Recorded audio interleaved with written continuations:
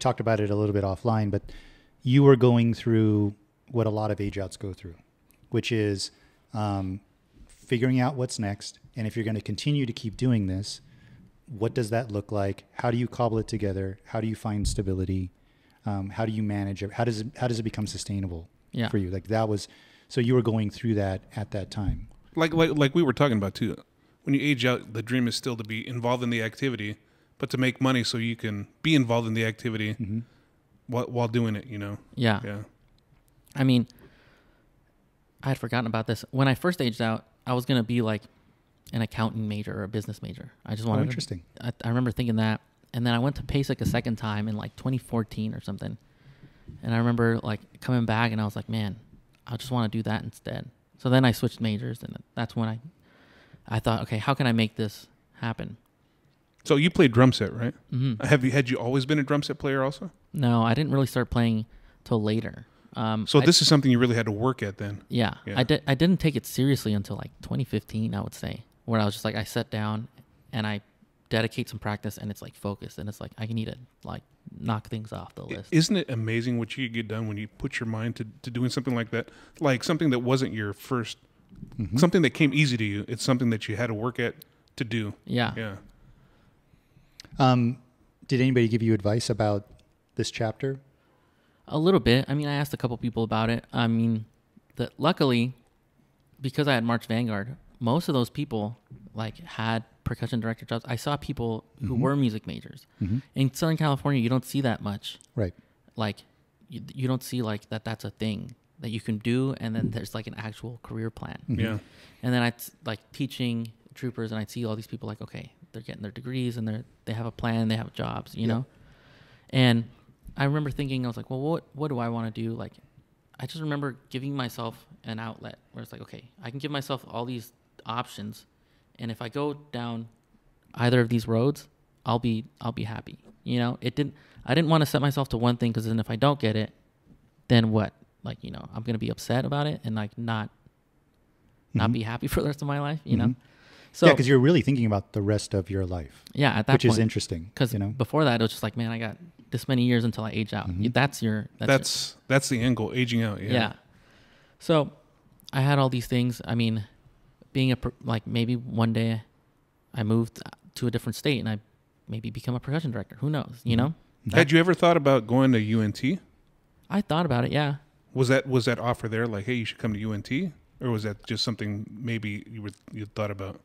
Something I thought about. I think I, I might have applied, but then I decided not to. I forget what it was. I think I was gonna audition, and then I got the job at Disney. I got an ex, Mm. I got a second gig, and I was like, I might as well just stay here. Yeah. Because the UNT thing was like, the, the end goal is for me to always come back to California. This is where I want my Yeah. career to be. Right. So it's like I might as well just do it, build it here. Now you talk about going to another state doing the percussion director gig. What what might be cool now is I guess something got voted in, and now those opportunities might be available here in California, and due to some additional funding. Really? Yeah, that some I've heard some people talk about that that some some bill passed or proposition passed, and that funding to fund the help fund the arts. hmm So hopefully, we get like that Texas style or Indiana style percussion programs here in California. Right. I mean, and, and we've talked about it on previous podcasts. Yeah. Like you need that. You need that uh, infrastructure, right? Uh, Where you could be a percussion director with a pension and benefits, you know. and and like you said, it's it's one thing to have the desire to do it, but it's another thing for the path to be clear. Yeah. Yeah, I take these exact steps, and it will lead me to here. Versus like having it be a little bit more amorphous, you know. And and what Texas has done has sort of exported out to other parts of the country. So maybe something like that, a California version of that can be built. Yeah, that you could know, be at some cool. That I would mean, be cool, yeah. I mean, like I said, that's one of the options. You know, ultimately, it came down to like, at the moment, it might have been like 2015. Like, I remember thinking, I like what I'm doing now. I just want to make more money. I Mhm. want to teach drumline. I'm playing drums. You know, so that's kind of what I've been doing. You know, Yeah. and slowly trying to build a little more financial stability through that. So you go through you teach troopers for 5 years. What's the next step for you? Uh, And was this something you wanted or it was just you knew your time was up at troopers? kind of both. Like I, th- I think at that point, after that 50 year, I was ready to move on, and I was like, I was ready to just maybe not teach. You know, I was just kind of like, okay, I'm just ready to move on. Um, and then luckily, I got a call from the Vanguard cadets, Mm-hmm. like right then and there. Not right then and there, but like perfect timing. Yeah. You know, I was like, I was ready to move on, do something else. They asked me to go be the be the caption head. I was like, yeah, let's do it. That's that's the next step. And that was was that a shift for for Vanguard cadets, just in terms of like, because who was teaching there before? Casey, Yeah, Casey was teaching there, um, where it felt like they wanted people who had was it was it like they wanted people who had learned um, from Paul and stuff like that a little bit. in the program. it was a little bit more like I think I forget what it was. They were trying to make it. They're trying to bridge the gap between the A Corps and the Cadet Corps, hmm and that was the goal. And so it's like, I came in and I was like, all right, we're gonna do it. And I remember at that point, which is kind of was good for me. I remember just modeling it after like, okay, what would Paul do? Like trying to recreate that. So in a sense, it's almost like uh, an exercise, you know, hmm rather than just like, all right, I'm just gonna do whatever I want. Like, what do I do? There was no like, what do I do? It's like, oh, this is what Paul would do because I'm trying to prepare these people. You you you were go to the looking at the A-Corps. overall picture of what these kids want to do and trying to prepare them for that next level of where they want to go. And, Yeah. and thinking about it in a in a more practical step by step way. Yeah, Like, my- what are the actual steps? I remember my my biggest goal was that I wanted if there was a somebody who marched Vanguard cadets that year that made the A Corps the next year, hmm I wanted them to like go in there and not feel kind of the culture shock that I did. You know, Sure, it was sure. just like, oh, what's going on? Like, wh- why does everything feel different? I wanted them to like go in there and be like, oh, this is just how everything happened at the cadet corps. It's just everyone's just hmm a little bit older, a little more experienced. The tour's a little longer. You know, Yeah, it's it's funny. Like uh, Nick talked about a version of that with Jeremy Summers Mhm. when when Jeremy would come back, and that's you know, and essentially he would be like, "This is what we do at Blue Devils and RCC. I'm going to do it with you guys." You know, um, and that's valuable. You know, Yeah. that that's that's a that's a really really big deal versus just the I'm going to make you better holistically. Um, I think when you when when it's when there's that level of focus to it, uh, you include certain things like the structure, the process, you know, um, because familiarity and feeling comfortable, like there isn't, you know, a massive learning curve, yeah. you know, um, that's that's huge. That's valuable. So What year was this that you were at Vanguard Cadets? 2018, 18. Did And- you only do one year? I did 18 and 19. Okay. and were you? What was your position?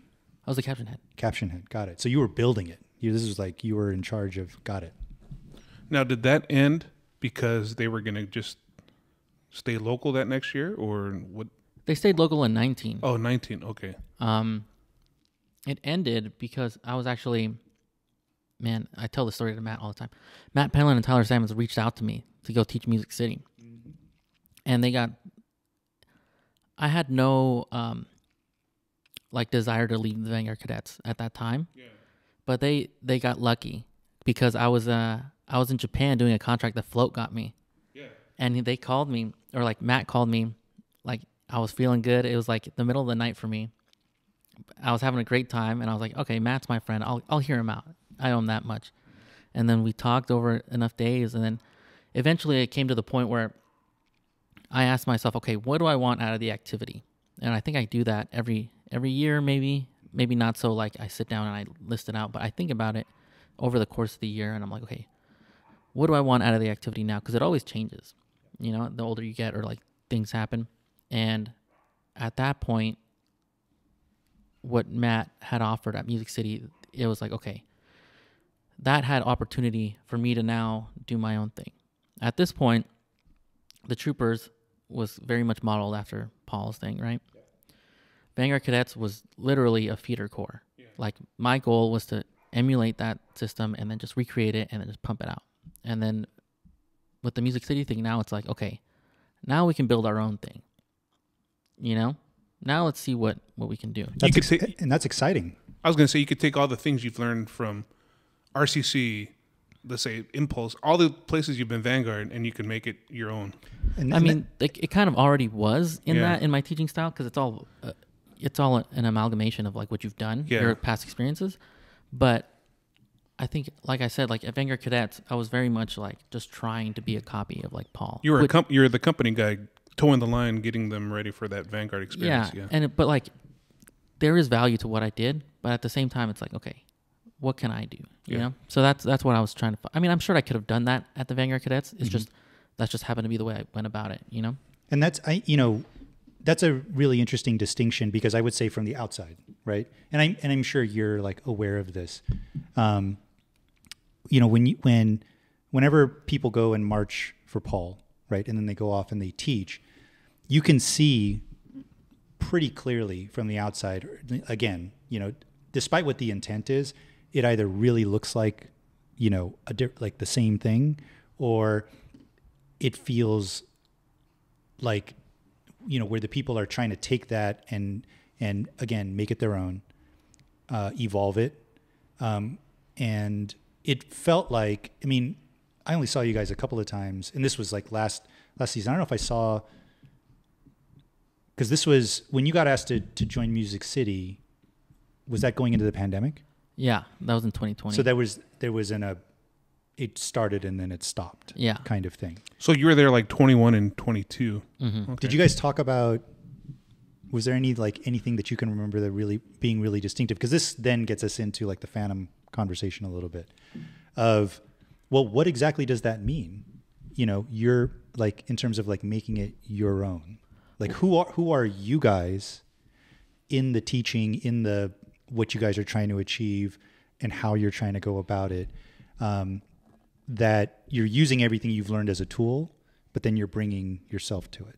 Yeah, I mean that's kind of the million dollar question right there. Mhm. I mean, you you guys talked about it, I think, with Murray, right? About like how does a group get an identity, Mhm. you know? And like his groups were very much like you could tell that they're them and they don't really sound they sound unique, right? So going into the Music City thing, we're very much conscious that our foundation is built on uh, what Paul has done, and that's there's no desire to change that. You know, that stuff works. It sounds great. Like it's tried and true. You Mhm. know, so But there's got to be a part of you too where you'd be like, oh, it's just a Rennick knockoff. exactly. Yeah. That's so now like we're trying to find ways to like, okay, how do we make this our own? How do we make this its own group? Because you don't want it to be a Rennick knockoff. And at Music City, it was one of those things. Was like, man, you could have the Vanguard Cadets, you could have the Troopers, Music City, in the same lot. You don't want to hear the same drum line three times. Mhm. That was one of the, the big things. I was like, that, like we we're not gonna do that. We're not just gonna, we're just we're not just gonna plug and play that. You know. Right. So, we we creating a unique identity of the group is something that's very important because obviously the groups that have that will have like the most retention and like the best kind of like experience overall. You know, you look at those kind of you know, Broken City. hmm That group has a sound, you know, a pretty influential sound if you if you ask me, you know, especially Yeah, I mean, just look around. Yeah. exactly You know, everybody you can see it everywhere. it- like that's like people's DNA now. Like in terms of like you hear all these other lines playing hmm that type of vocabulary that wasn't there, you know, before, Mhm. and it's very identifiable, you know. But same thing with the Casella stuff. It's like somehow it's like, how is it so unique? But it's just the basic building blocks. Yeah. But I mean, same thing with Paul. It's like, man, I mean, his bread and butter is the the voice leading. You got to learn to like. I mean, you can listen to any section and it sounds incredible. But once once you like step back and you listen how all the voices come back and forth, it's like, man, that's where it really It's uh it's a musical piece within a musical piece. exactly. Yeah. That's where it really gets like cool. And then obviously Matt and Tyler. I mean, those guys, they they know that stuff and they they do the voice leading stuff too. You know, Mhm, like it's mhm. it's all there. You know, but we're, I mean, Matt. One thing I like about Matt's writing, it doesn't sound like Paul's. It sound like we, you can hear the influences. You know, you know, you can go. I mean, but that's true of any any sort of musician. You know, you, you can listen to Tony Williams, famous drum set player. His main influences are like Max Roach, Philly Joe Jones, and Art Blakey. Once you kind of know that and you listen to those three drummers, you can hear all of them inside his playing, you know? But then Tony is very much Tony Williams, Yeah. you know? So we're, that's kind of what we're trying to, And that's what's Yeah. supposed to happen. Yeah. It's not supposed to be like a carbon copy. copying somebody somebody's style, being a knockoff. It's supposed to be insp- having that inspire you, right? Yeah. And then you make it your own, and then that inspires the next person, and it just keeps on going like that. Um, I'm going to ask a weird question. Um, does Paul want that? Does he want what? Like in terms of like, so Paul's been an educator for a really long time. A long time. you know and he has he's basically taught people who've gone off gone off and taught i'm, I'm sure he's taught performers and, and all that stuff as well right um, but because his influence can be seen and felt and you can see it in the different programs and stuff like that. Does he want people to go off and teach something that feels like oh yeah that's paul rennick stuff? Or does he want it to be more of this person took it and made it their own? And maybe they can see the bones right? Like you said like certain aspects like the voice leading but the executions of it the execution of it is different you know or maybe this person is bringing this whole other element into it that i wouldn't you know that i never even thought you know and maybe and i, I don't i don't expect you to speak for paul but since he is since he's educated so many generations right um, in, in learning from him, did you get a sense of what he wanted for his students other than we're going to play this composition really clean?